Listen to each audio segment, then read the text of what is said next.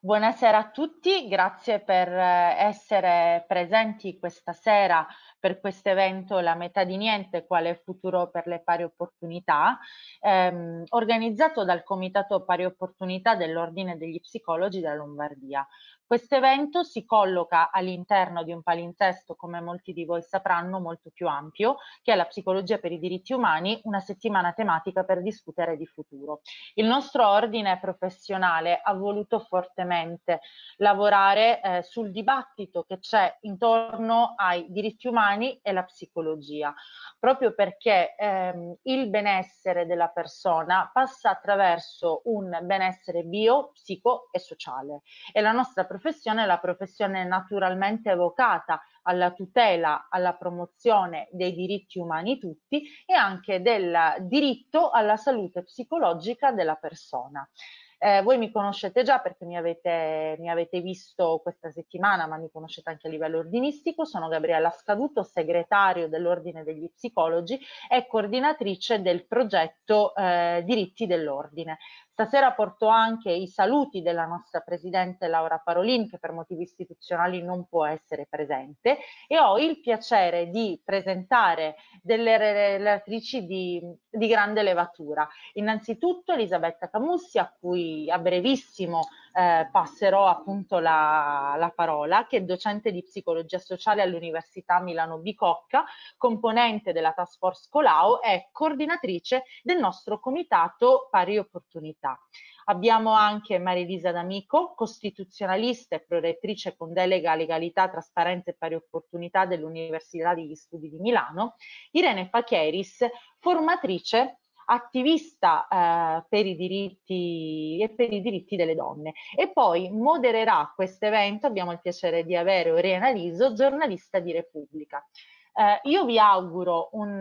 una buona visione dell'evento, invito tutti i colleghi e tutte le colleghe che ci stanno seguendo al fatto che se avessero qualsiasi tipo di domanda la possono scrivere nella nostra chat e poi sarà nostra cura riportarla alle nostre relatrici. Grazie a tutti e do la parola a Elisabetta Camussi. Grazie Gabriella e buonasera a tutte eh, e a tutti, i colleghi e le colleghe che sono qui presenti, quelle, le persone che sono collegate e anche i cittadini e le cittadine che hanno deciso di passare eh, questo eh, fine pomeriggio ascoltando eh, e dibattendo con noi di un tema assolutamente centrale. Non a caso come Comitato Pari Opportunità abbiamo deciso di intitolare con eh, una scelta abbastanza netta anche di posizionamento eh, questo incontro La metà di niente che dà un'indicazione eh, precoce ed incisiva eh, di quale sia eh, il posizionamento della del 51% della popolazione, cioè quella di genere femminile, rispetto alla totalità dei luoghi decisionali, sociali, professionali eh, e lavorativi, ossia siamo il 51% della popolazione, ma non riusciamo ad essere il 50% di nessuna delle situazioni attraverso le quali eh, si fa la realtà, eh, fondamentalmente quella contemporanea in primis e sono quindi molto contenta di poter discutere di questo eh, con delle persone che da punti di vista molto diversi lavorano e studiano e ricercano e promuovono su tematiche inerenti alla parità di genere e mi piace anche ricordare che eh, nella progettazione di questo incontro oltre che nel lavoro condiviso con i gruppi di lavoro eh, che afferiscono al alla struttura diciamo uh, dei, dei, diritti di cui è responsabile Gabriella Scaduto. Abbiamo lavorato con le colleghe del Comitato Pari Opportunità che oltre a me e a Gabriella sono Barbara Bertani e Cristina Vacchini e in collaborazione con Anita Pirovano che all'interno del tema diritti è la referente del gruppo di lavoro sui diritti eh, per le donne. Nomino tutto questo perché come sappiamo bene noi donne ma non solo noi donne eh, quando eh, le cose eh, devono riuscire ad essere veramente interessanti ed incisive riescono ad essere tali solo e unicamente perché non sono il frutto di narcisismi individuali, ma di eh, progetti e dimensioni collaborative e cooperative. Così è stata cooperativa e collaborativa la progettazione così sarà cooperativa e collaborativa la nostra co-conduzione e co-realizzazione di questo evento questa sera. Grazie molte e lascio la parola a Oriana Liso, la nostra moderatrice, nonché splendida giornalista di Repubblica che cura questa newsletter dal titolo Scusi lei e già il titolo, se non fosse troppo, prima ancora per i conti dedicata al gender gap, prima ancora che per i contenuti, non fosse altro per il titolo, io comincerei a leggerla istantaneamente. Grazie Oriana. Grazie, grazie a tutti e buona serata, buonasera a tutte e a tutti. Eh, intanto vorrei dire a tutti quelli che ci ascoltano che eh, dalla settimana scorsa stiamo lavorando, e parlo ovviamente delle donne che sono collegate gratis, perché le statistiche dicono che eh, a più o meno eh, fine, tra fine ottobre e inizio novembre inizia quel momento dell'anno in cui la differenza salariale tra uomini e donne eh, diventa talmente netta che è come se da quel momento in poi per 39 giorni le donne lavorassero gratis. Vorrei ricordarlo in partenza perché quando si parla di eh, differenze, di diseguaglianze, bisogna anche andare molto al concreto. Il concreto è quello che guadagniamo con il lavoro che facciamo. Io vi ringrazio per questo eh, invito, soprattutto perché è un'occasione per confrontarsi con eh, tre donne, quattro donne che hanno sicuramente punti di vista differenti su questa eh, questione. Eh, più che punti di vista hanno davvero uno sguardo diverso ed è, è, una cosa molto importante avere sempre sguardi diversi e quello che manca probabilmente in questo paese e in tanti altri paesi è la differenza di sguardi ci aiuta a capire che ci sono problemi che vanno affrontati in maniera diversa. Io tornerei su Elisabetta subito perché eh, in questi giorni eh, stiamo ancora assistendo ad un dibattito su quelli che sono i fondi che questo paese avrà e potrà spendere per cercare di dare un futuro a questo paese eh, dopo quello che stiamo vivendo. Io ho conosciuto Elisabetta Camusi proprio parlando di questo ormai eh, cinque mesi fa forse. parlavamo del piano Colau, parlavamo di un progetto che poteva essere sicuramente perfettibile, ma che aveva una base eh, su cui lavorare per parlare di futuro. Eh, nei vari paesi europei in cui si stanno studiando le misure per spendere questi soldi, quelli del Recovery Fund, eh, la parola futuro è citata eh, tantissime volte, eh, c'è chi ha controllato, nel nostro la parola futuro non, non c'è mai e futuro, ricordiamolo che vale per le donne, vale per i ragazzi e vale per chi domani dovrà occuparsi di chi invece in questo momento c'è già e poveri loro non so come faranno davvero, che impegno avranno. Quindi Elisabetta Camusi, io questo vorrei capire con te. Eh, Cos'è stato il piano Colau? Che tipo di eh, problemi è andato a toccare della differenza di genere che viviamo sotto tanti aspetti, ma partiamo da quello eh, economico e sociale che sono strettamente collegati. E a che punto siamo adesso? Guarda, eh, Oriana, ti ringrazio molto della domanda e peraltro mh, quello che tengo a sottolineare è che io eh, sono stata l'unica psicologa che è stata coinvolta nella task force economico-sociale, in realtà l'unica psicologa che è stata coinvolta nelle task force eh, complessivamente mh, attivate durante la pandemia eh, presso la Presidenza del Consiglio o presso i singoli ministeri. E questo visto che questa sera noi eh, ci confrontiamo all'interno all'interno di un webinar che è di un ordine professionale, mi sembra molto indicativo, non tanto guardate in maniera lamentosa che è uno stile che non mi appartiene, della posizione o della fatica di riconoscimento della psicologia, della psicologia sociale di cui mi occupo all'interno del contesto sociale, quanto di quanto sia difficile dare attenzione alle persone. Infatti, se dovessi ragionare su qual è stato il mio contributo in termini appunto di psicologa sociale dentro una task force dagli equilibri di potere, di potere diciamo quello vero, cioè invisibile, non assolutamente semplice. Il mio contributo è stato assolutamente dall'inizio, e Malme ne incolse per tutto ciò, quello di aver portato lo sguardo sulle persone, ossia la mia interpretazione di quella che è l'utilità di una prospettiva di genere in tutti i luoghi di riflessione, decisionali e di attuazione è l'importanza che lo sguardo di genere femminile ci sia in maniera bilanciata e presente allo sguardo di genere maschile, perché portando lo sguardo di genere femminile, che di solito non c'è nella quasi totalità dei luoghi nei quali invece si decide poi per tutti e per tutte, è quello sguardo che è in grado di portare all'interno delle situazioni la complessità e la vita, non certo perché le donne siano per alcune o per tutte eh, caratteristiche migliori degli uomini geneticamente, ma perché vengono da una storia millenaria nella quale la propria esperienza di relazione con la cura le ha rese gioco-forza, eh, necessariamente molto consapevoli del fatto che a bisogni differenti, di persone differenti, non si possono dare risposte standardizzate, o meglio le puoi anche dare, ma nella misura in cui le dai in quanto risposte standardizzate, quello che ti succede è che non funzionano, cioè quello che funziona con una persona non funziona con un'altra. E beh, certo che portare all'interno di una task force che aveva un compito così forte, tengo a dire, per riconoscere riconoscenza e riconoscimento del lavoro condiviso insieme ai colleghi e le colleghe che anche noi eravamo in pandemia, cioè noi lavoravamo giorno e notte alla realizzazione eh, di un piano che si è poi concretizzato in una relazione e 120 schede di azione pronte da realizzare, consegnate tra il 10 di aprile e il 15 di giugno. Ecco, in questo lavoro grossissimo che abbiamo fatto come persone che erano dentro quella stessa pandemia e quindi come esseri umani condividevano quello stesso grado di incertezza e di imperscrutabilità rispetto a ciò che sarebbe poi accaduto, la difficoltà del portare i bisogni come bisogni delle persone ed effetti delle ricadute delle scelte prese sugli individui è stata una difficoltà che esemplifico con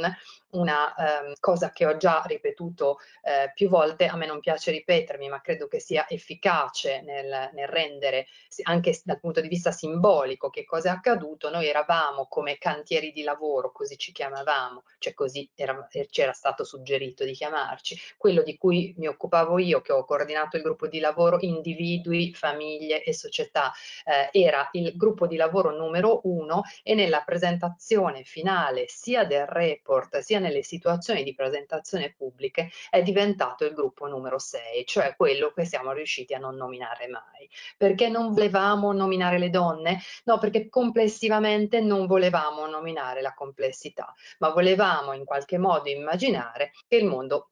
potesse funzionare secondo processi di tipo lineare, nonostante la pandemia, la post-pandemia, la seconda ondata e tutto ciò che ci circonda ce lo stesse dimostrando all'epoca ed oggi in maniera molto chiara. Sono però eh, contenta del fatto che oltre ad aver messo numerose azioni proprio inerenti alla parità di genere nel gruppo che ho coordinato e nel quale ho lavorato molto bene con alcune persone, molto meno bene con altre, ma in particolare benissimo con Linda Laura Sabadini, ecco la cosa a cui tengo molto è che anche lì con lacrime e sangue, perché questa è la definizione corretta, la notte prima della chiusura del piano noi siamo riuscite a far in questo noi ci sono state tutte le figure di genere femminile e una parte minoritaria delle figure di genere maschile, siamo riusciti a far mettere come terzo asse dell'intero piano, pari di economia green e digitalizzazione, la parità di genere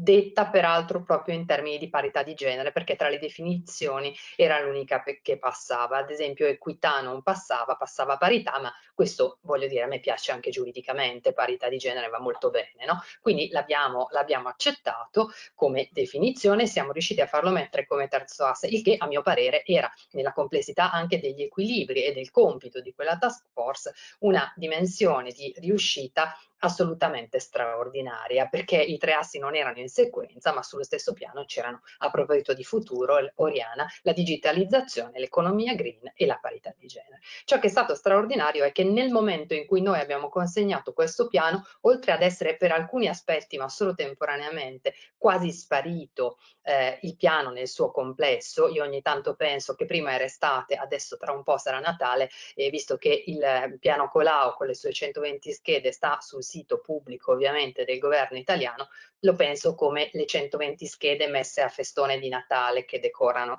il sito del governo, perché apparentemente non era stato fatto eh, molto mh, uso più concreto, ma quello che qui sto dicendo è che quello che è stato straordinario è che di quel terzo asse, che era veramente mh, qualcosa di eccezionale, non nel mondo, ma per l'Italia, essere riusciti a mettere come terzo asse, e attenzione,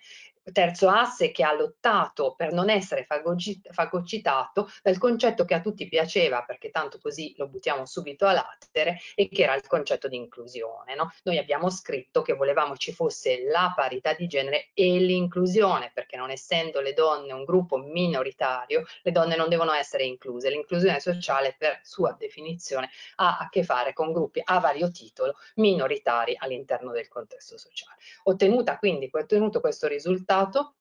che cosa è accaduto? Che il nostro risultato è sparito, nel senso che sia dal punto di vista comunicativo, non a caso no, non eravamo di nuovo tutti pari rispetto ai contenuti di cui eravamo portatori e portatrici, sia dal punto di vista più strettamente strategico nella definizione delle linee guida, in particolare per il Recovery Fund, che voglio dire è una questione veramente dirimente il futuro della nostra nazione, la parità di genere è sparita ed è sparita nonostante, anche questo lo trovo quasi straordinario, nonostante l'intero Recovery Fund che noi abbiamo attualmente scritto, non è definito in maniera definitiva, però scusate il gioco di parole, però sicuramente molte indicazioni erano state date con chiarezza, ad esempio già lo scorso settembre. Ecco, nonostante nel Recovery Fund, nelle linee guida del Recovery Fund, per come sono state assunte dall'Italia, sia stato in realtà per un verso assunto eh, una parte degli aspetti del piano Colà, ma molto in maniera molto più importante, sia stato assunto tutto un concetto di sostenibilità, no? Sostenibilità che eh, richiama l'agenda di Europa Europa 2030 e quindi gli obiettivi del millennio, nella quale però, udite udite, il quinto degli obiettivi è la parità di genere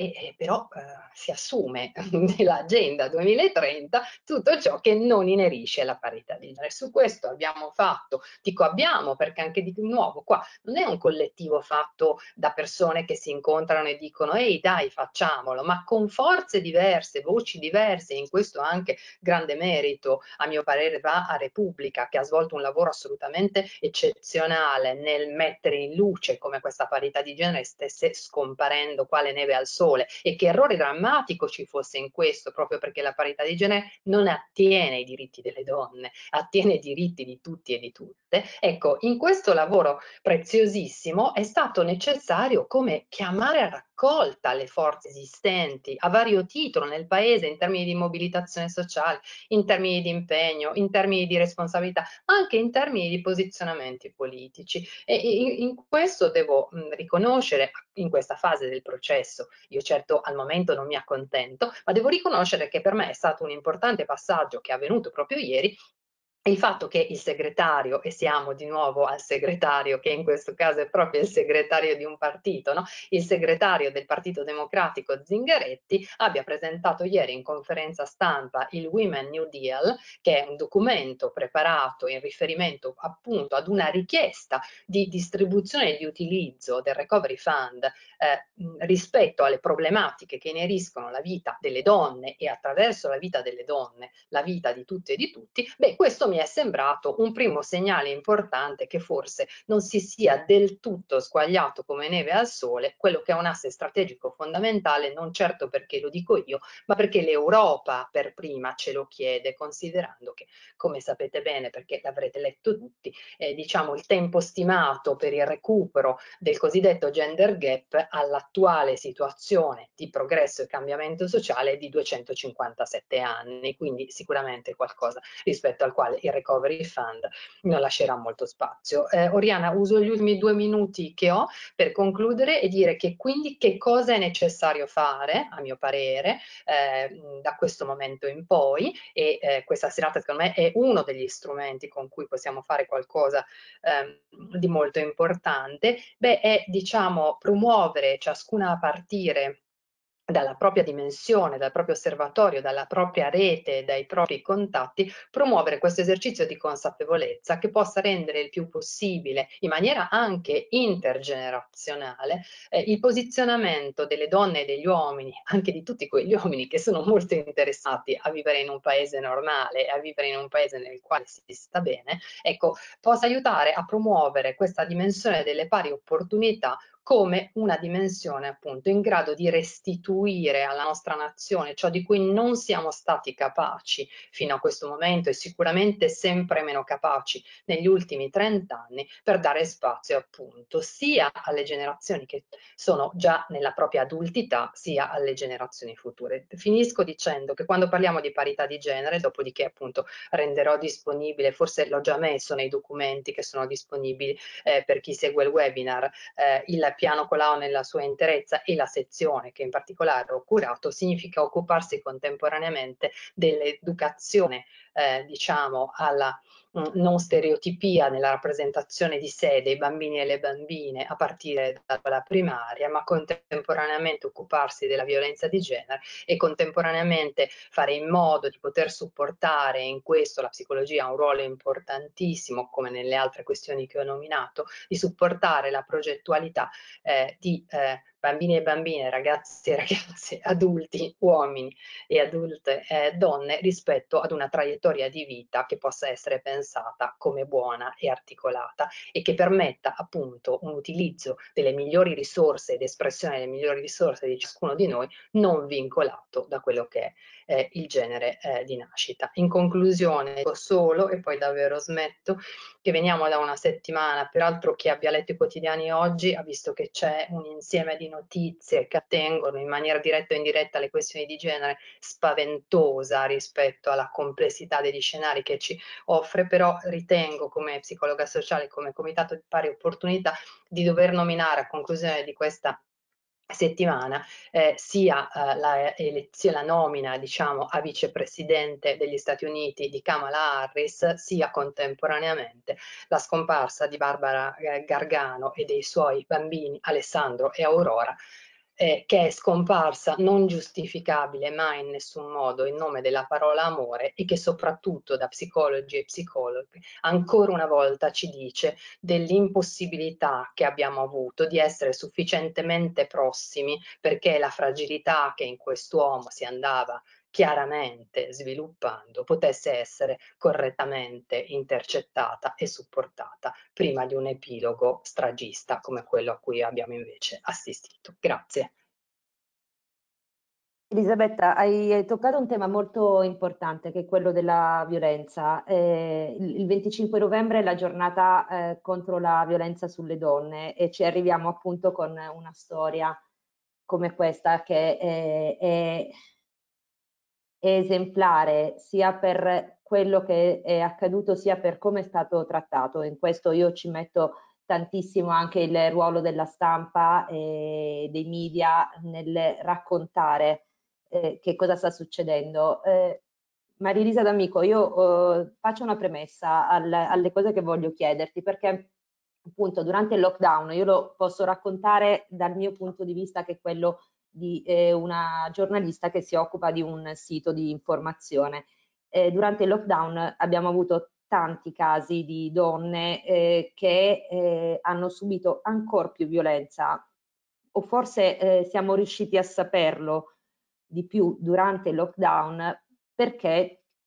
case piccole, eh, convivenze forzate per tantissime ore, frustrazioni generali, non di un uomo o di una donna, eh, e ricordo ancora il caso di una, di una donna che è stata uccisa dal suo ex compagno che lei stava ospitando in casa durante il lockdown perché eh, lui non aveva più casa e, e si stavano lasciando, lei l'ha ospitato e lui l'ha uccisa. C'è la violenza che abbiamo visto in questi mesi. Scusate, io vi leggo però anche un dato che riguarda il lavoro, che io collego anche alla violenza, perché eh, l'indipendenza economica, ricordiamolo, che è sempre una possibile chiave per riuscire ad uscire da alcune situazioni, non è l'unica. Eh, tra il secondo trimestre 2019 e lo stesso periodo di quest'anno in Italia si sono persi 470.000 posti di lavoro di donne. Uno dirà, è un numero.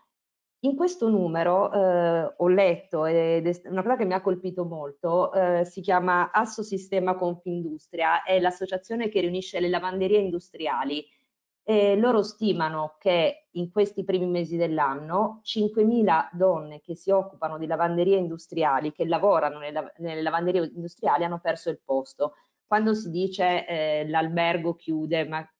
non, non, ci interessa, il ristorante chiude, non ci interessa, eh, le tovaglie, eh, gli asciugamani e le lenzuola di quell'albergo di quel ristorante, qualcuno le, le lava e quel, quel qualcuno che le lava si guadagna da vivere e probabilmente riesce anche a crearsi un minimo di dipendenza grazie a quel lavoro. Marilisa D'Amico, che è una costituzionalista, ci può aiutare a capire a questo punto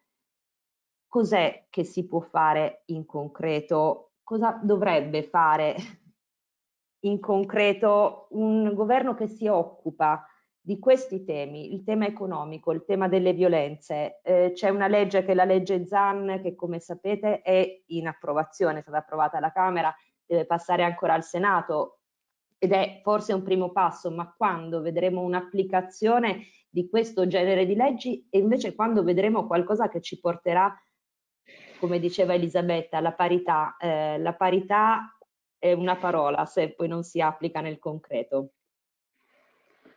Grazie, io intanto ringrazio moltissimo l'Ordine degli Psicologi ed Elisabetta Camussi per questo invito e mi fa veramente piacere ritrovarmi anche con Oriana Liso con cui abbiamo insomma, vissuto pagine molto belle anche della nostra Milano dei diritti. Eh, e rispetto a quelle pagine, anche quel movimento di donne che ci fu all'inizio degli anni nel 2010-2011, eh, tante cose sembrano diciamo essere state perse e sicuramente ci troviamo in un momento di grande sofferenza. Cioè, ehm, io ehm,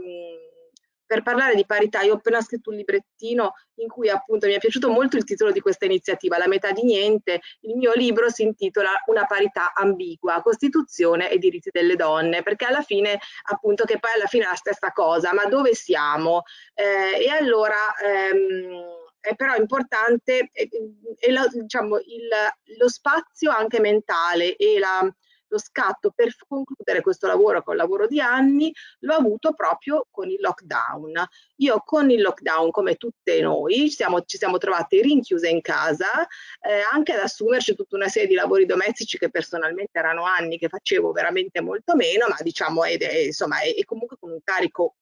pesantissimo di tutti i tipi, psicologico, familiare e così via, e naturalmente i nostri compagni o marito eh, o mariti giustificati più o meno, ma insomma meno, e soprattutto quello che a me è sembrato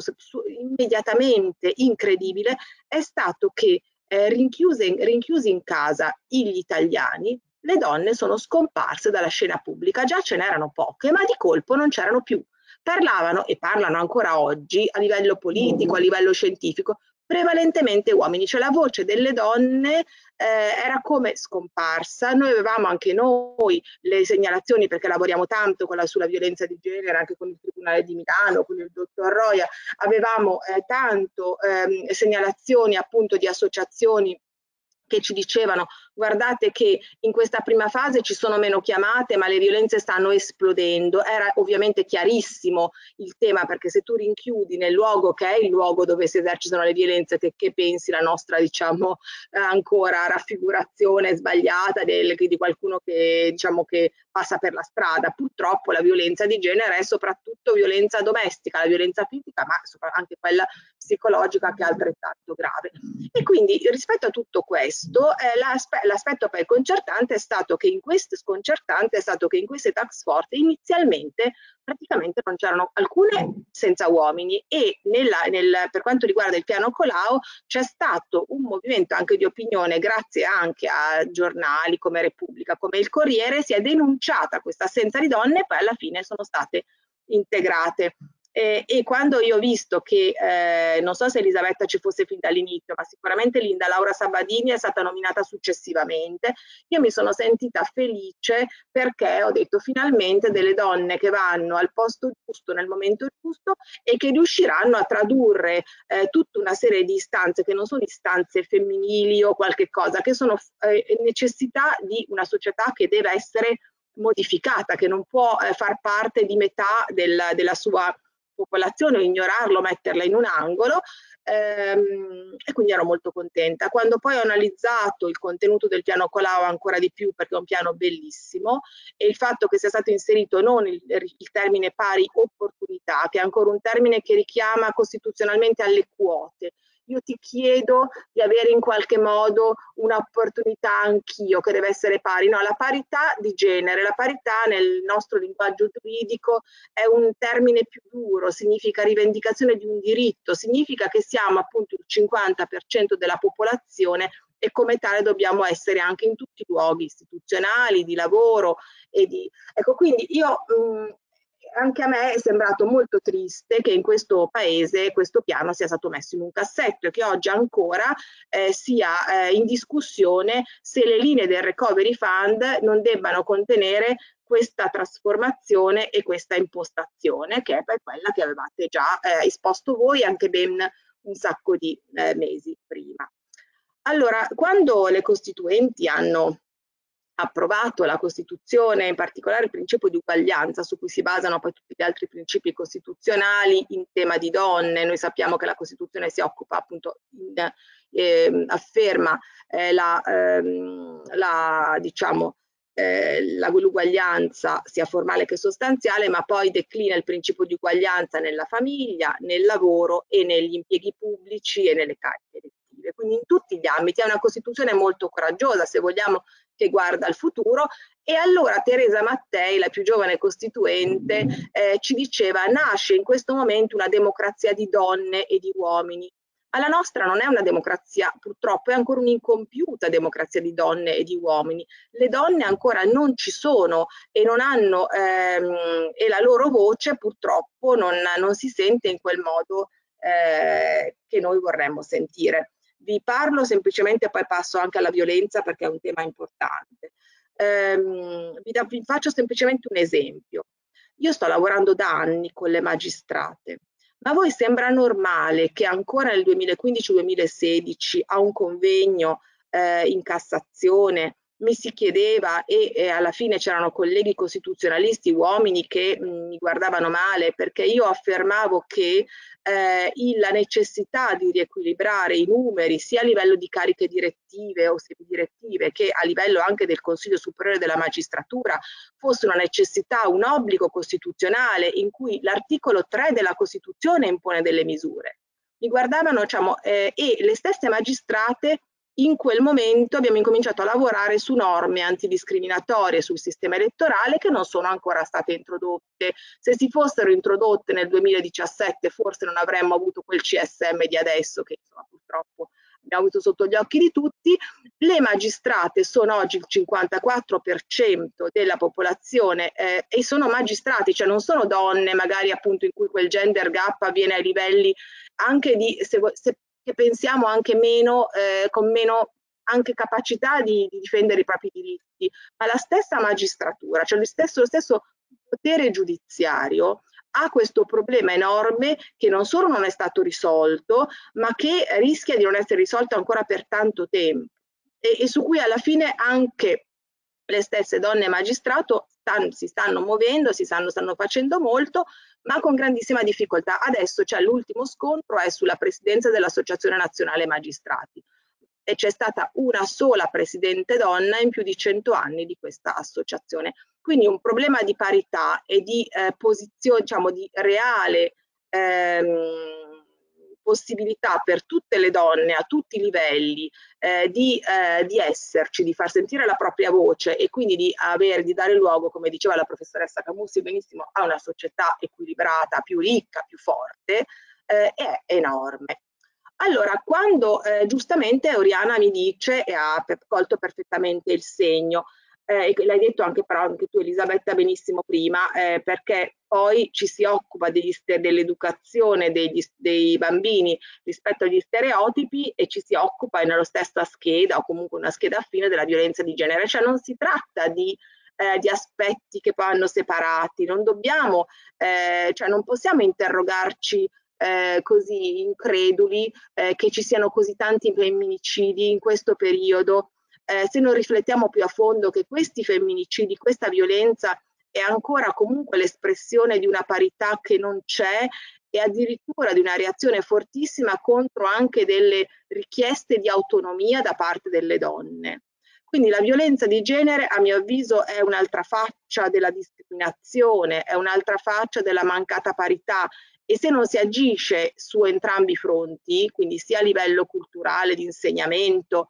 e anche a livello appunto sociale con, eh, con, eh, con anche una presenza ter sul territorio eh, appunto di psicologi sono fondamentali eh, di prevenzione noi praticamente ci continueremo a stupirci. Ora anche qui io in questo librettino un po' ripercorro un po' la storia anche delle leggi. Rendiamoci conto che noi siamo un paese comunque che eh, ha fatto votare le donne nel 1946 per la prima volta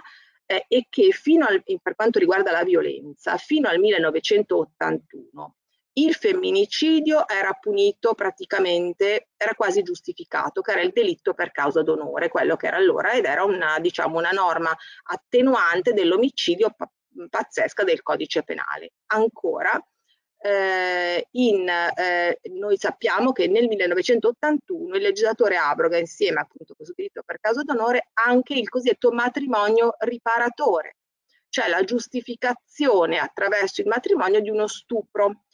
Allora è chiaro che dal 1981 a oggi sono passati eh, quasi 40 anni, non sono tantissimi, non sono tantissimi perché purtroppo noi abbiamo comunque dei retaggi culturali eh, di una visione patriarcale e molto anche mh, in cui le donne ancora siamo, siamo immaginati come di,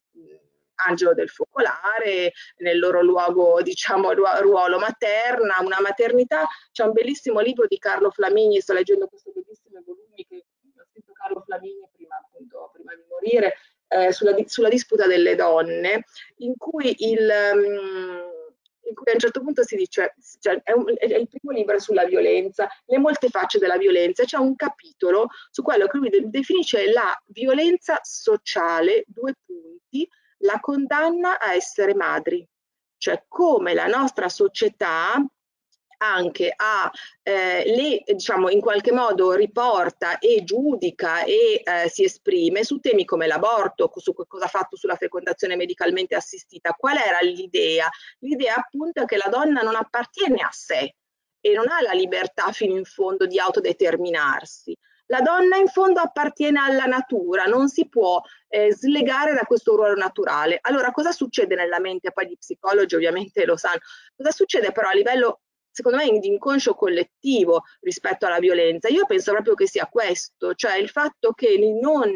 eh, che ci sia una ribellione che è individuale ma anche sociale alla possibilità che la donna eh, autonomamente determini un ruolo che non è un ruolo legato alla natura, è un ruolo in cui semmai se si sceglie di avere un figlio lo si sceglie, se si sceglie di continuare una relazione la si continua. Però anche qui eh, poi la storia ci insegna tantissimo perché eh, ci sono tutti i problemi pratici di cui noi ci occupiamo quotidianamente che hanno comunque del,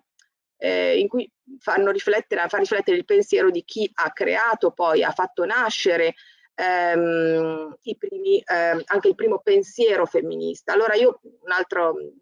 diciamo un'altra, eh, ne parlo, sto parlando con le studentesse in questo periodo perché so,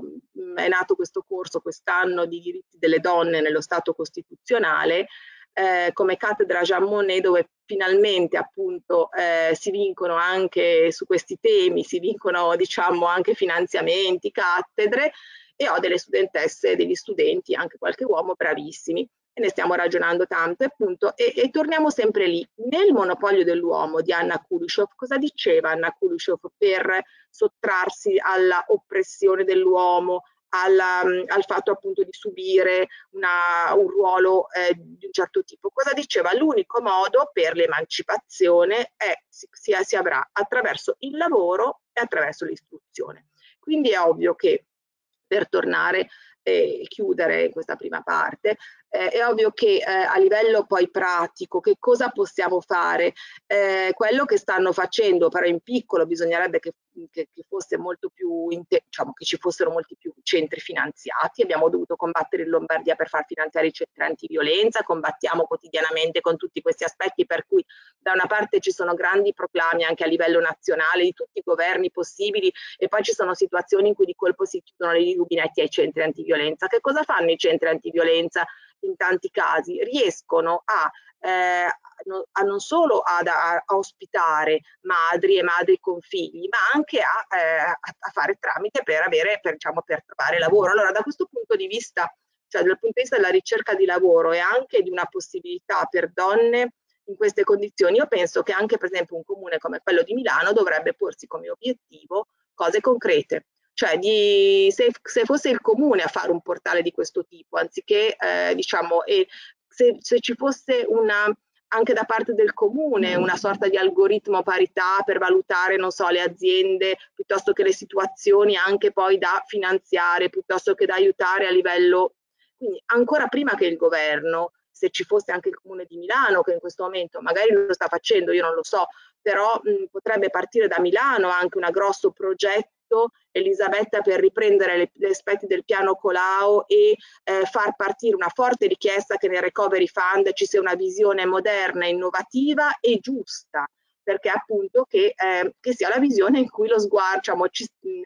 la parità di genere sia affermata a tutti i livelli. Quindi io credo che assolutamente questo è un momento giusto, difficilissimo per tutti, ma in cui dobbiamo reagire e insomma l'idea di incontrare, di mettermi in relazione nuovamente con voi mi fa ovviamente molto felice e, e quindi anzi direi che forse ho, ho, credo di aver parlato, di aver detto più o meno tutto quello che volevo dire, se mi, mi taccio. Sì, no, no, riparlerai dopo perché speriamo di fare un secondo giro e se appunto ci sono anche domande so che Elisabetta Camussi le sta raccogliendo. Eh, io volevo dire che sono a questo punto molto contenta che eh, in, questo, in questo incontro ci sia anche Irene Facheris, non soltanto perché è uno sguardo come dicevo prima, uno sguardo diverso e penso che sia necessario avere sguardi diversi su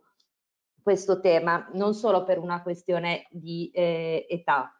anche per quello che fa, eh, lo dicevamo prima, Irene è una formatrice ed è un'attivista femminista e a me piace molto il fatto che eh, una eh, giovane donna, se posso chiamarti così, si autodefinisca. Questo si collega a quello di cui vorremmo parlare, vorrei parlare con te,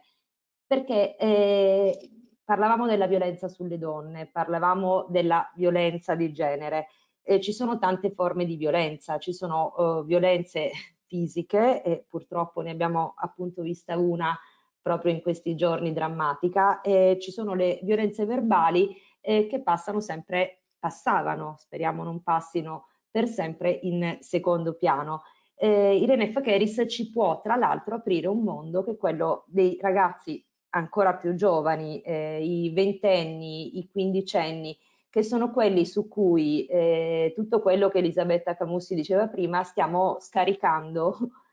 per il futuro. So, è a loro che lasciamo in eredità non solo questo periodo drammatico, ma anche la mancanza di eh, progettazione, di programmazione di tutti questi decenni. Quindi volevo parlare con te per l'esperienza che ora ci eh, racconterai e che eh, hai avuto, che cosa vuol dire confrontarsi con la violenza verbale che,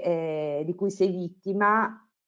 e chi sono queste persone? Perché io poi ti vorrei anche chiedere se sono solo uomini, se sono donne, perché dobbiamo anche parlare di un eh, dato di fatto. Ci sono tante donne che odiano le donne, perché oggi facciamo i rimandi ai libri, la metà di niente, le donne che odiano le donne e vorrei capire se ci sono anche loro. Allora, anzitutto grazie per l'invito e proprio per um, aggiungere uno sguardo diverso, dirò buonasera a tutte, a tutti e a tutte, così usciamo anche dal binarismo di genere, quindi un, un saluto a tutte le persone non binarie che stanno guardando eh, questa sera. Allora, sì, io sono tristemente un'esperta di, di violenza online, anche perché ormai sono dieci anni che bazzico internet eh, facendo cose diverse. Io ho iniziato un percorso eh, su internet, nello specifico su YouTube, che era il 2010. Io avevo cominciato da un paio d'anni l'università e inizialmente io non mi occupavo di questi temi, anche perché non avevo ancora capito che eh, mi avrebbero interessata così tanto.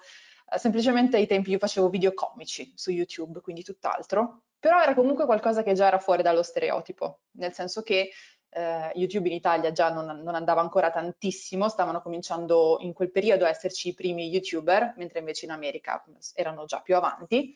C'erano delle donne, delle ragazze che facevano video su YouTube e mh, mm, spessissimo erano video di outfit o video di make-up, quindi eh, mostravano come si erano vestite oppure come si erano truccate, che va benissimo se è quello che vuoi fare e quello che ti appassiona. Io non lo facevo semplicemente perché, come potete notare, il nero è il mio colore e non mi azzardo a, a trovarne altri, e idem con il trucco. Io volevo fare ridere, volevo provare a portare della comicità. E già questo faceva storcere il naso a qualcuno, proprio perché non rientravo in questo stereotipo.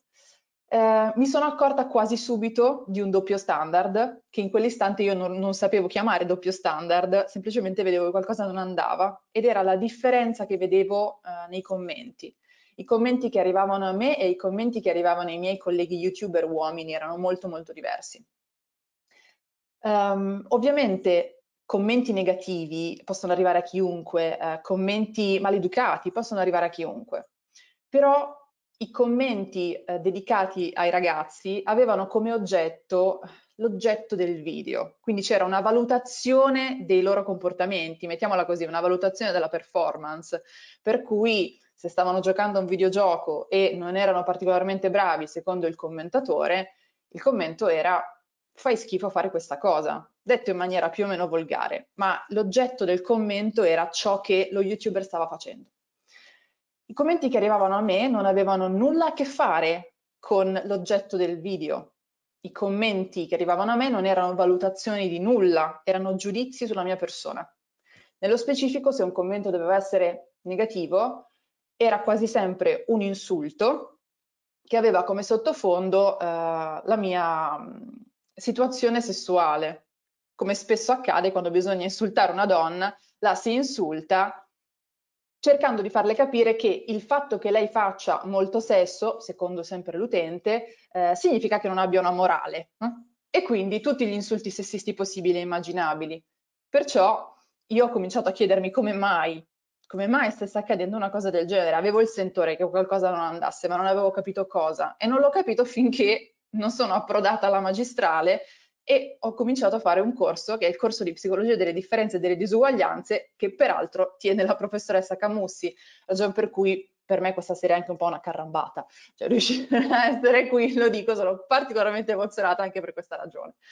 Eh, e lì io ho scoperto che effettivamente quella cosa aveva un nome, era un doppio standard, aveva a che fare con il sessismo, aveva a che fare con una società patriarcale che ha insegnato a, a tutti noi eh, alcuni comportamenti da tenere. E lì ho capito che avrei voluto occuparmene. Eh, questo ha significato prima aprire un'associazione no profit eh, che si chiama Bossi con la Y e ehm, successivamente nel 2016 iniziare eh, una rubrica su YouTube che ha completamente cambiato la mia vita, eh, cioè parità in pillole, l'ho proprio chiamata così. Avrei voluto eh, parlare immediatamente di femminismo, ma ero consapevole del fatto che il femminismo si portasse dietro una nomea eh, non proprio positiva. Comunque nella prima puntata io ho spiegato la differenza tra femminismo e maschilismo per non sbagliarci, però l'ho chiamato parità in pillole proprio perché ero e rimango convinta che non fosse e non sia una questione eh, femminile. Ovviamente il femminile in questa società è percepito come inferiore e la maggior parte dei problemi poi gravano su noi donne. Ma non è solo una questione femminile, è una questione che riguarda tutte le persone. per diverse ragioni. Uh, questa rubrica io l'ho portata avanti per quattro anni, è finita nel 2019 e per quattro anni io ho dovuto convivere con i messaggi che, che arrivavano.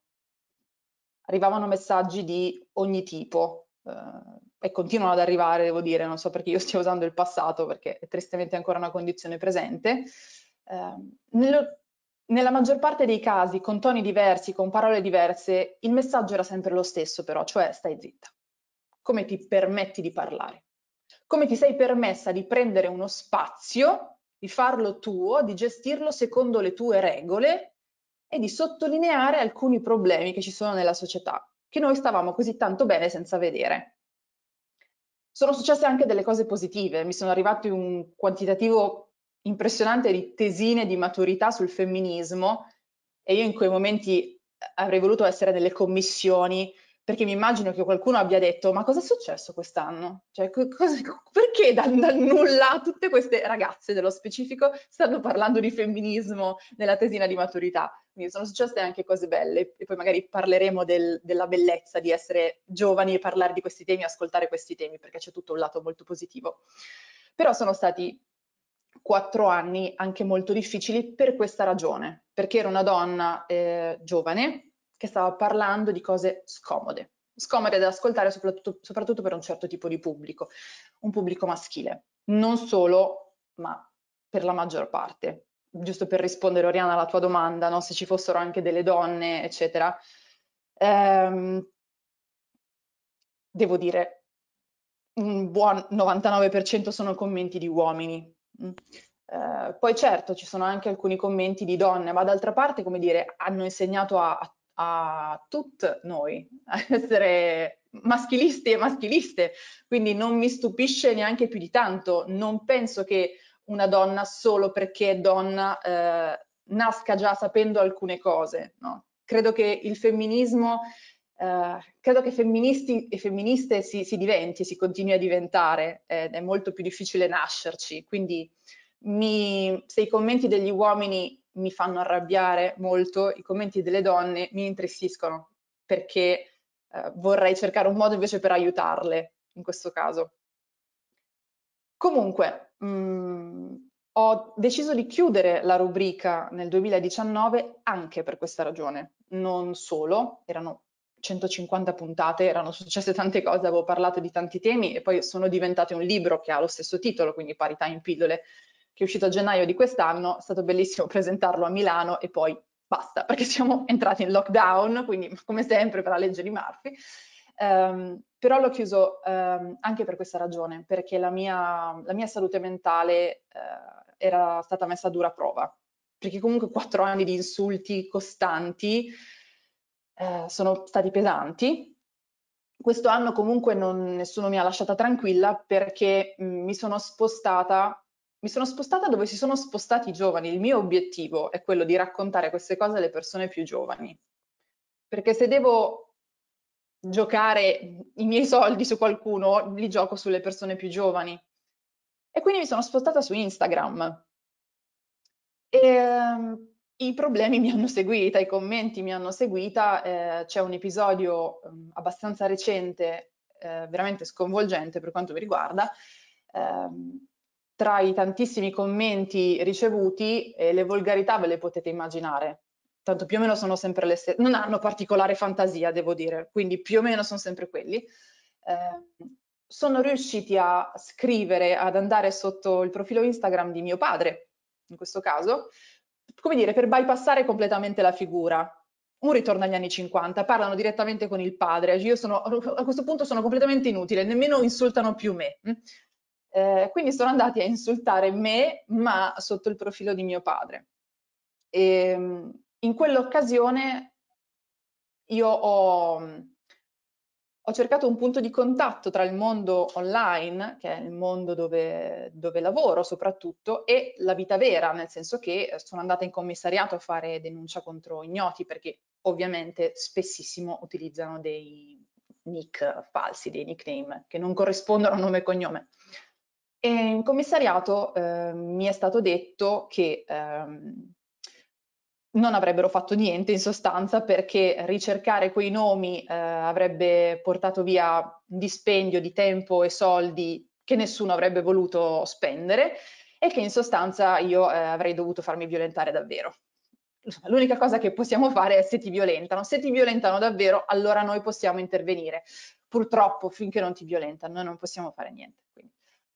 Questo è quello che, che, succede nella vita online eh, e questo è quello che succede quando provi, eh, non sempre voglio sperare, però questo è quello che mi è successo, quando ho provato a, a, a chiedere una mano, a chiedere un aiuto, perché mh, non ci sto più a pensare che il problema sia io, io ovviamente sono stata chiamata in mille modi, nazi, femminista, fascista, perché a un certo punto io ho semplicemente deciso di moderare i commenti, no? di bloccare, di eliminare i commenti scurrili e bloccare le persone che li avevano lasciati. E, e queste persone, urlando alla libertà di espressione e la libertà di opinione, eh, dicevano di, di non essere d'accordo e sentivano che la loro libertà era stata violata in qualche modo. Io non ci sto più e questo l'ho detto da moltissimo tempo. C'è un'enorme differenza tra eh, esprimere un'opinione e discriminare qualcuno. E ormai lo dico sempre in tutte le salse, eh, perché come dire, a me piace il rosso, no, a me piace di più il blu, è uno scambio di opinioni. Io credo che le donne siano inferiori, io credo che i neri siano meno intelligenti, non è un'opinione,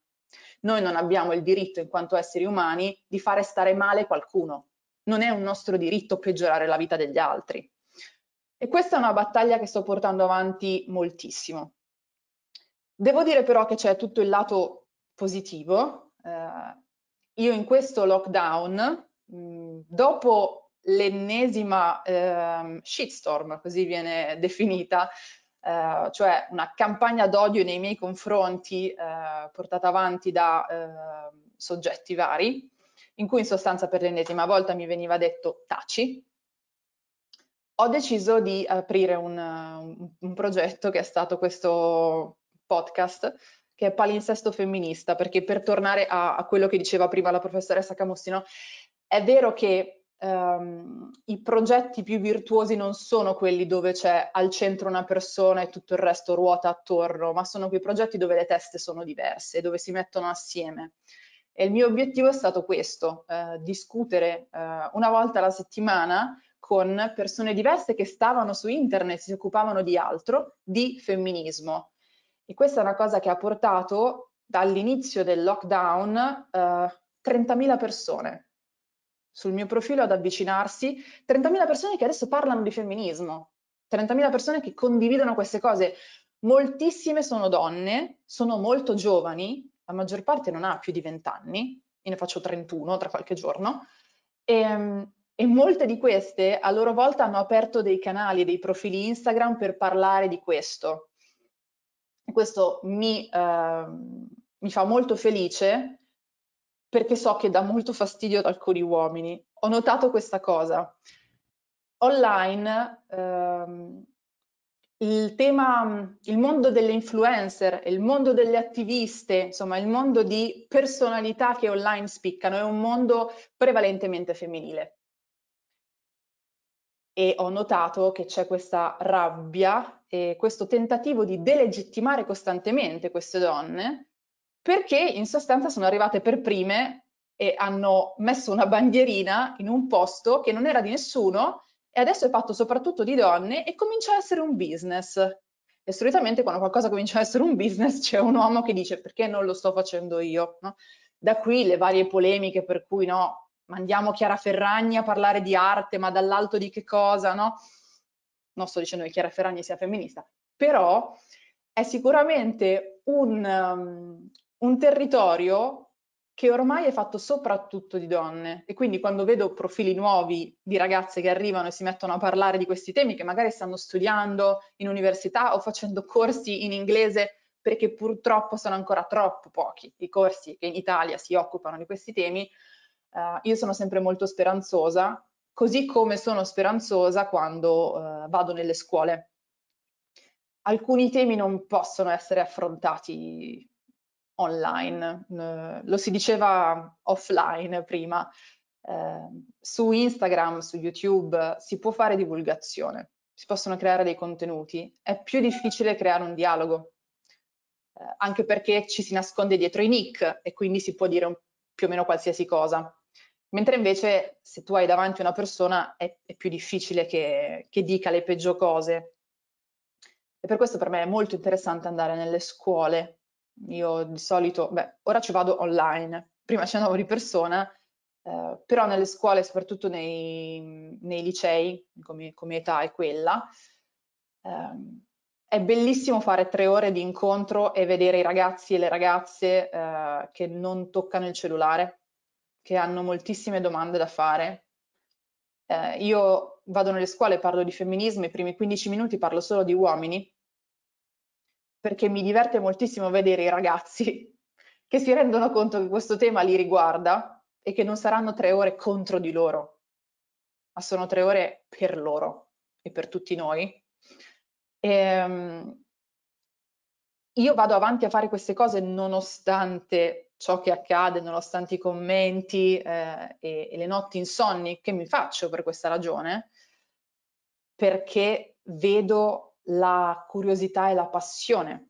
negli occhi dei, dei, ragazzi e delle ragazze più giovani. Quindi al netto di tutto quanto, credo che le cose possano migliorare e credo che non ci sia un'alternativa al fare entrare questi temi all'interno delle scuole, perché a 15 anni cambiare idea è il tuo lavoro e quello, quello che devi fare è scardinare le tue credenze, anche perché sono non sono moltissime e le hai da relativamente poco tempo. È molto più difficile parlare con un uomo di 70 anni e raccontargli di mascolinità tossica, perché poi si deve guardare allo specchio e si deve chiedere come ho vissuto fino ad adesso. No? Irene, ti, Prima ti... cominciamo. Ecco, ti interrompo perché, scusami, eh, io penso sia molto giusto che eh, siano i ragazzi di 15 anni eh, a, a, doverlo capire. Ne parlavamo prima appunto, lo dicevamo offline, eh, riferendomi al, al, fatto che tuo padre abbia ricevuto dei messaggi violenti e di odio che riguardano te e che insultano te. E lo dico perché siamo nel posto giusto, penso, parlando di psicologi. Io penso che questo riguardi anche molto gli uomini e come gli uomini devono eh, accettare che altri uomini parlino delle donne, non delle loro donne, delle donne. Quindi vuol dire anche mettere in discussione eh, i modelli culturali ed educativi, come dicevamo prima, che, che, gli uomini e le donne, perché è vero che le, le donne sono altrettanto maschiliste eh, in tanti casi, stanno dando ai ragazzi più giovani. Penso che quello scambio lì sia davvero il, il momento in cui nei passaggi di testimone peggiori che ci possano essere uno che ha un senso.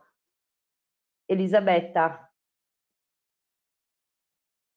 Allora, prima eh, vi chiedo scusa, solo due comunicazioni di servizio. Marisa, perdonami, mi chiedono eh, il titolo del libro di, di, Flamigni, il tuo l'ho già ripetuto, se eh, ho detto correttamente in chat è una parità ambigua, eh, cura a, a, tuo nome, invece quello di Carlo Flamigni, eh, ti ricordi il titolo allora, per cortesia? Guardate, se volete, allora, il mio è una parità ambigua, è questo qui ed è edito da Cortina, e quindi faccio, Perfetto. ti ringrazio perché e quello di Carlo Flamigni è appunto, eh, sono otto volumi. Eh, non so se possono essere eh, comprati eh, separatamente, ma chiederemo all'editore. Io me la, li ha regalati appunto perché erano destinati a me la, la moglie. Carlo Flamigni, allora il primo è ehm, il diritto di pensare, storia della disputa sulle donne. L'editore è Ananche, che è una casa editrice che forse conoscete, eh, l'aspetto interessante che lui ha diciamo, dovuto in qualche modo impegnarsi moltissimo per far pubblicare questo libro, perché nessuna casa editrice voleva pubblicare otto libri, diceva ma quando mai e qui e là, invece sono libri veramente che si leggono con grandissimo interesse, secondo me sono vendibili separatamente, io spero. Il primo è sulle molte facce della violenza, il secondo i roghi, il secondo il ruolo di prestigio delle donne per la letteratura misogena, sesso e prostituzione, questione dell'alfabeto, la capacità cognitive delle donne, cioè ha fatto anche un ragionamento su questi temi ma da scienziato e da medico, quindi secondo me, mm, no, io poi spero che appunto anche alcune studentesse, insomma, che abbiano voglia anche di farci delle tesi di laurea su, questo, su, questo, su questi volumi. Grazie molte Marilisa. Eh, ripeto anche parità in pillole di René Facheris, invece palinsesto femminista eh, è eh, eh fruibile via web e eh, aggiungo l'ultima nota di servizio, poi Oriana eh, ti rispondo che ho detto una cosa scorretta, io sono una sostenitrice dell'onestà intellettuale sempre comunque anche quando è scomoda. Io non sono stata l'unica psicologa a far parte delle task force perché eh, la collega Daniela Lucangeli, psicologa dell'educazione e dello sviluppo, ha fatto parte della task force dedicata alla scuola. Ci tenevo a, a ricordarlo. Diciamo che eh, non perché il tema scuola non mi interessasse, ma eh, come dire, eh, in, in, quello che ho riportato e in termini psicologici si capisce benissimo, è il sentimento di solitudine che ho avvertito nel mio essere dentro quella fatica, perché chiaramente in modo molto diverso e adesso rispondo alla tua sollecitazione, richiama per un'età diversa e per uno stile diverso sicuramente quella di Irene, quella di Marilisa, quella di Oriana e di tutte quelle che qui non stiamo nominando, ma che è la fatica eh, di quelle donne che per ragioni diverse di storia, di formazione, di professione, eh, di interesse, anche magari di condizioni all'interno delle quali questo riescono a permetterselo, stanno in una posizione un po' militante, un po' pionieristica, che può essere militante e pionieristica non solo in senso assoluto, anche in senso relativo rispetto ai contesti che praticano, no? rispetto alle discipline di cui si occupano, rispetto alle realtà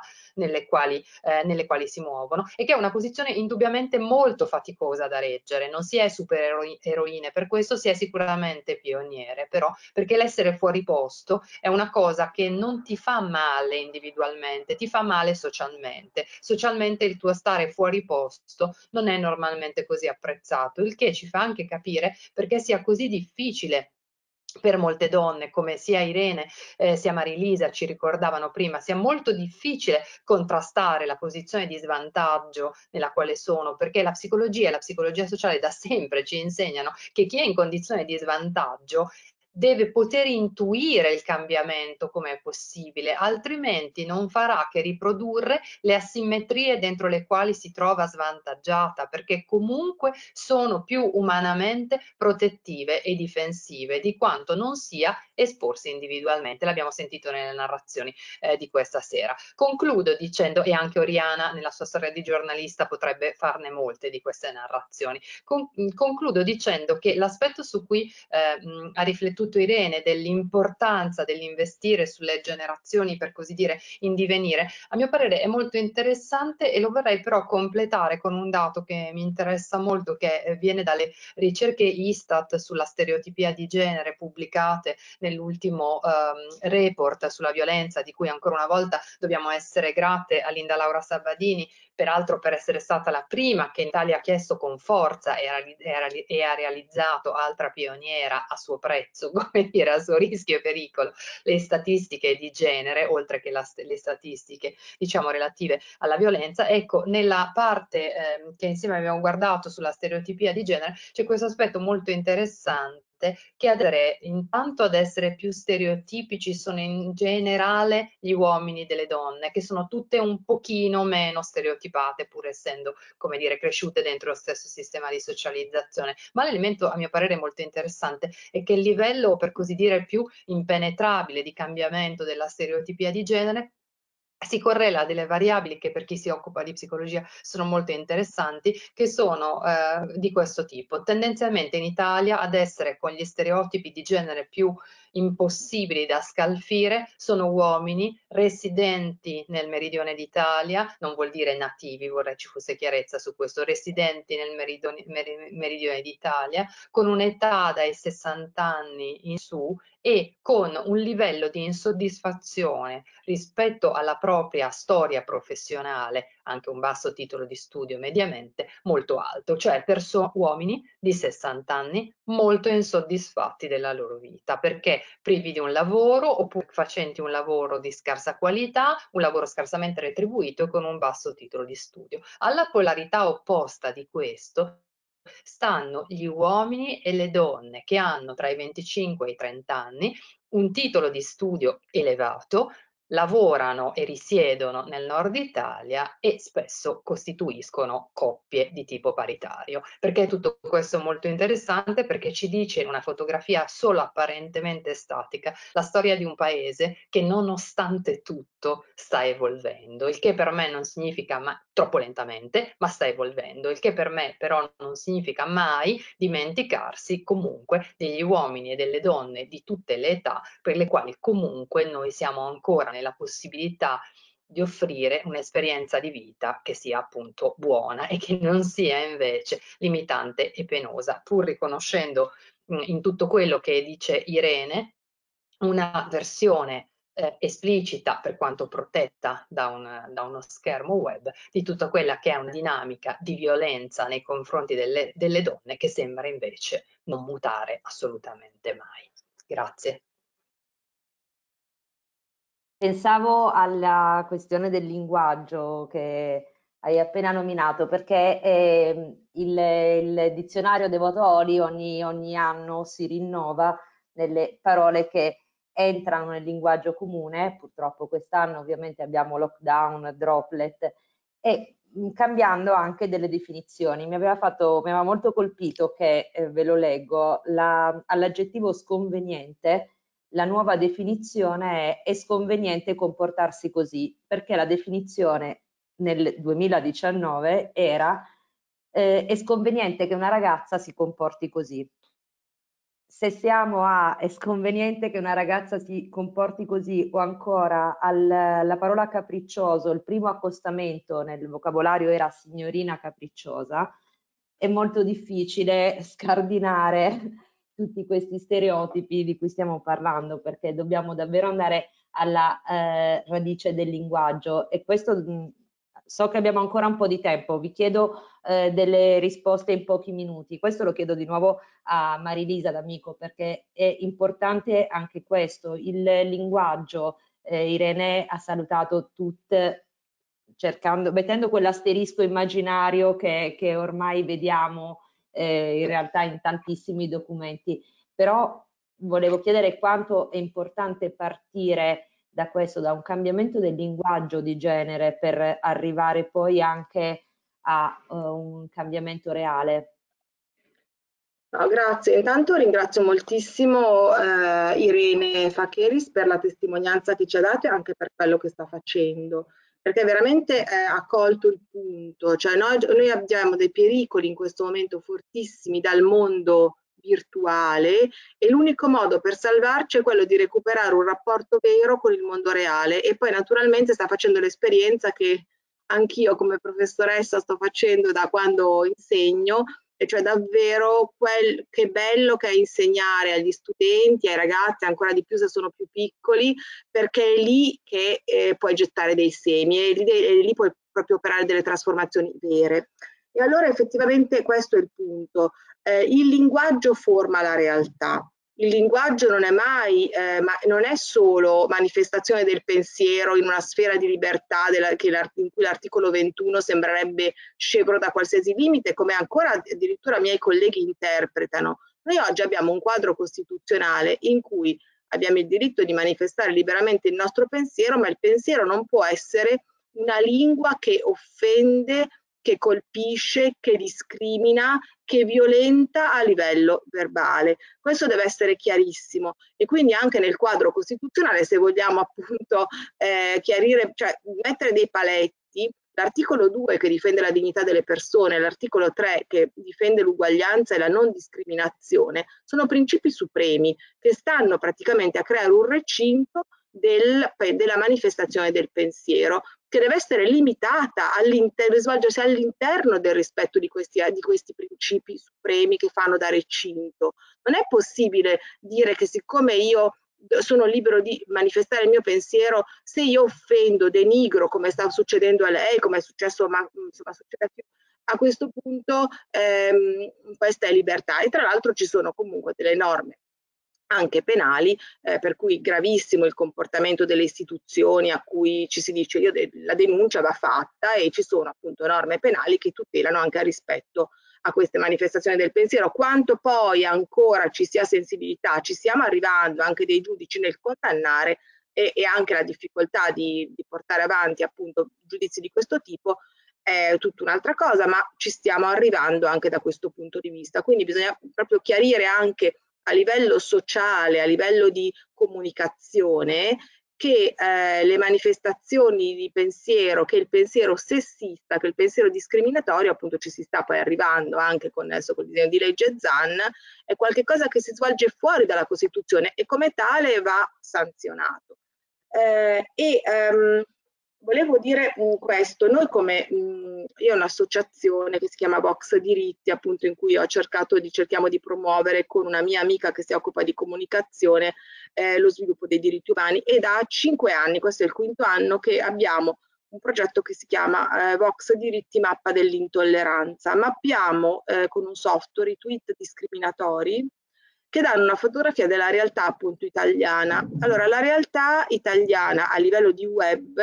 è una realtà profondamente discriminatoria, ma il, la voce più forte, ci sono delle fluttuazioni varie in questi anni, ma diciamo la, la voce più forte, quindi tweet più forti, sempre più, ehm, diciamo, più numerosi, sono sempre quelli sessisti. E quando si scatena l'odio online? Si scatena quando ci sono per, per, esempio i fenomeni di violenza, cioè la rete crea, diciamo, una moltiplica gli aspetti negativi all'interno di un episodio che è di per sé negativo, che quindi invece di essere condannato viene praticamente nel mondo della rete esaltato. Allora dobbiamo stare molto attenti perché il linguaggio di per sé è, eh, diciamo, forma la realtà. Quindi se noi non modifichiamo e non ragioniamo sul linguaggio e abbiamo anche del, degli strumenti per anche da, in cui introdurre dei cambiamenti, poi vi racconterò una cosa, ma proprio un minuto di una cosa che stiamo facendo in statale, eh, possiamo però eh, il, linguaggio modifica la realtà, diciamo, eh, forma la realtà. E, e, attenzione ai pericoli del mondo virtuale. Oggi questi temi si stanno incominciando a studiare, ad affrontare molto più nel mondo che da noi ma che ci siano gli algoritmi discriminatori, che il mondo del web esalti fenomeni di violenza verbale, perché appunto hai ragione Irene, proprio ci si difende dietro allo schermo, davanti non hai il coraggio magari di, dire, di mostrare la tua faccia, ma dietro appunto sì. E quello che lei ha raccontato è esattamente il tema oggi di cui dobbiamo occuparci anche a livello sociale, a livello appunto di istruzione. Eh, con la, il comune di Milano, posso dire sì, prego. Sì, sì, certo, certo, Mariana, prego. Dicevo un minuto perché così rispettiamo no, no, i tempi. Solamente dico questo, che in università statale abbiamo fatto una delibera in cui ehm, proprio promuovere il linguaggio non discriminatorio e rispettoso della parità all'interno dell'Ateneo e stiamo praticamente modificando a livello di linguaggio tutti i nostri atti amministrativi. È una cosa che stiamo facendo e ha, e ha fatto anche il Comune di Milano. Cioè sono piccole cose concrete, però potrebbero comunque incominciare anche a segnare un cammino di differenza. Scusate. No, non devi scusarti, volevo eh, riuscire a eh, ridare la parola ad Irene perché eh, Marilisa parlavi del virtuale, con Irene invece le vorrei chiedere nel reale, eh, vai nelle scuole, vai virtualmente purtroppo adesso, però parli con tanti ragazzi giovani. Eh, lo dicevamo prima, quanta voglia secondo te hanno, avete di caricarsi quello che gli stiamo lasciando in termini di eh, disparità di genere, ma in termini di disparità in generale a questo punto? Ma eh, la, la, temperatura che sento io parlando con, con le persone più giovani, il mood, è, è un po' alla Greta Thunberg, per capirci, così abbiamo subito un riferimento chiaro, cioè ehm, mi rendo conto dell'istante in cui le persone più giovani eh, diventano consapevoli della situazione in cui mm, le abbiamo lasciate, in sostanza. Mi ci sto mettendo dentro anche io, visto che sto sempre facendo meno parte della categoria giovani, ehm, ma vedo, uh, vedo la consapevolezza nel fatto che o cominceranno loro a fare qualcosa o difficilmente le cose cambieranno. Vedo tanta voglia di prendere spazio, che è qualcosa che ancora non viene lasciato alle persone più giovani, ci raccontiamo la favola che non siano maturi a sufficienza, che non gli interessi veramente e per questa ragione non proponiamo nemmeno loro alcuni temi ed è per questo che poi appena hanno la possibilità di parlarne in realtà hanno milioni di cose da dire perché non lasciamo mai loro lo spazio. Credo che in questo momento le persone più giovani stiano capendo che lo spazio non è qualcosa che devi chiedere, è qualcosa che ti, ti spetta di diritto e quindi ti puoi prendere eh, io ci ho messo tanto a capire questa cosa, che non dovevo chiedere il permesso per parlare di alcuni temi, no? eh, non dovevo sperare di essere tollerata. Mm, a me non interessa essere tollerata, mm, io ci sono, mi dovrai rispettare. Fine. E vedo questa cosa nei giovani sempre di più, per cui, come dire, più diventano consapevoli del mondo che stiamo lasciando loro, più si, si rimboccano le maniche, o almeno io la sto vedendo così, poi chissà se la sto vedendo così perché voglio fortissimamente vederla così o perché ci sia un fondo di realtà, ovviamente spero la seconda.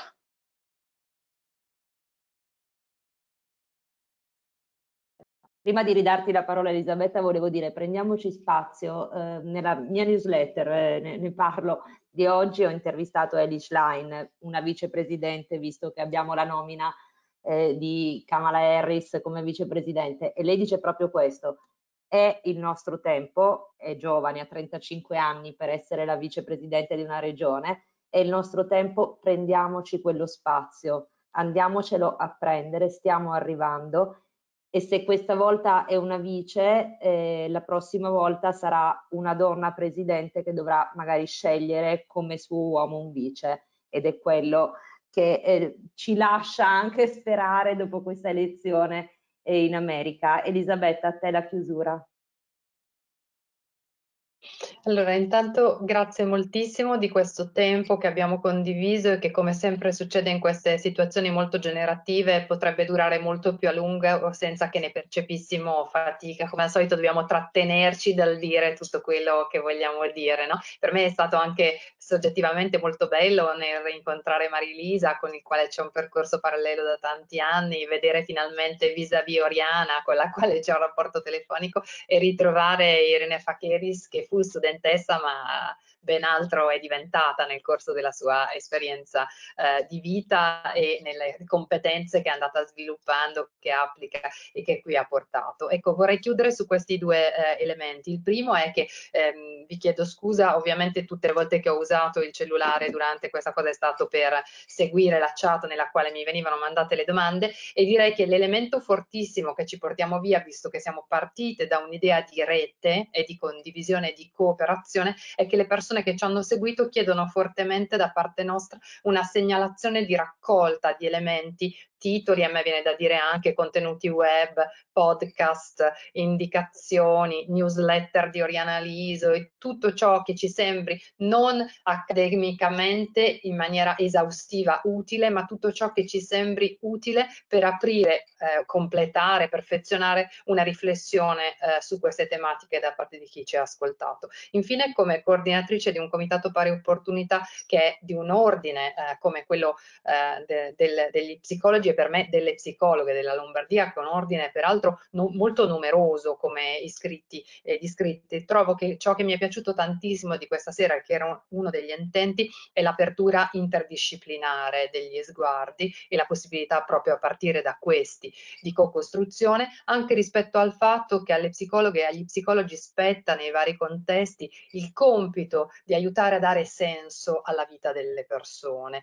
e credo che questo significhi sia una formazione formazione approfondita e specialistica per chi fa questo lavoro nei diversi contesti sia un'ulteriore possibilità di incidenza che non è solo sulle persone giovani ma è sulle persone tutte nell'aiutare proprio a trovare un senso migliore e diverso rispetto alla propria esperienza di vita, sia essa individuale o collettiva. Per questo ringrazio ancora tutte e tutti, purtroppo ahimè, dati i miei 52 anni, continuo a rimanere binaria nel linguaggio, non nella visione della realtà, ci mancherebbe, però nel linguaggio continuo a rimanere binaria. A questo tengo moltissimo, non alla rigidità dell'essere binaria, ma al far passare almeno il binarismo nel linguaggio, che non vuol dire l'eliminazione del non binarismo, ma spesso siamo ancora a quel tipo di difficoltà e ringrazio davvero appunto tutte noi e tutti, eh, tutte le persone che ci hanno seguito per la partecipazione e ci auguro pur nella criticità di questo momento di passare comunque una buona serata e un arrivederci a tutte. Grazie. Grazie, grazie, grazie arrivederci. Grazie. Arrivederci a grazie. tutti. Grazie.